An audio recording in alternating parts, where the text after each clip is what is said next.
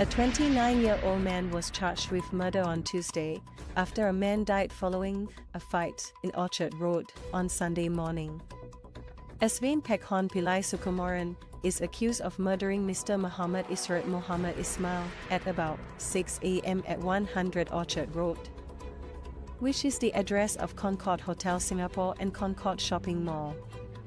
It was previously reported that Mr. Israt had multiple injuries and was unconscious when taken to hospital, where he died.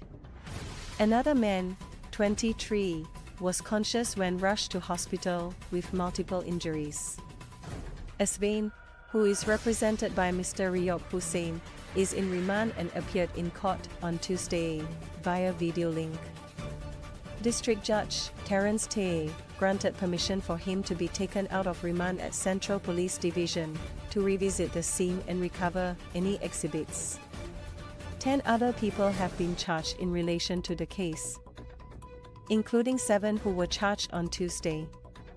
They include Muhammad Sharonizam Osman, 30, who is accused of voluntarily causing hurt with a dangerous weapon.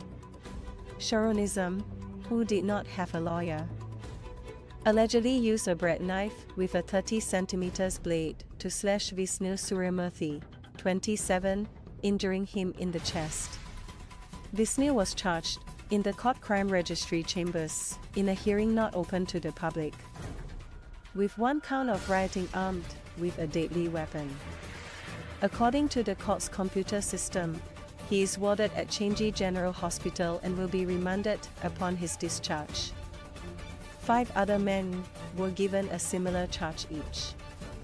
The six of them were allegedly members of an unlawful assembly, of which one or more members allegedly committed the offense and injured Mr. Israt.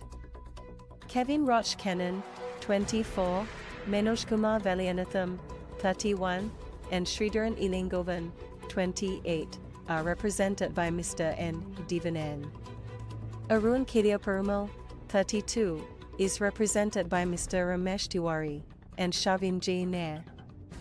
24, is also represented by Mr. Ryok. The next hearing date for the eight men charged on Tuesday is August 29. Three others, Balakrishna Subramaniam, 32, Mervin Verodad, 28, and Saijesh Asogan, 25, were charged on Monday, with one count each of rioting armed with a deadly weapon.